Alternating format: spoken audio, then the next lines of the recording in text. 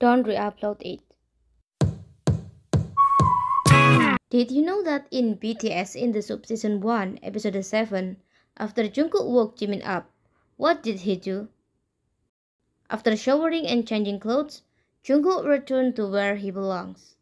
Be with Taehyung. I don't know if you already know this or not, but I just want to remind you about what happens in here. Does Jungkook always come back to Taehyung.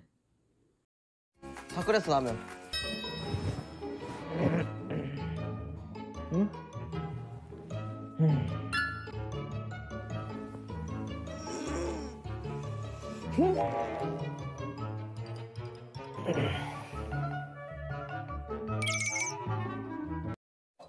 그림? 네가 그림 그림 그림 그림. 오케이 들어간다.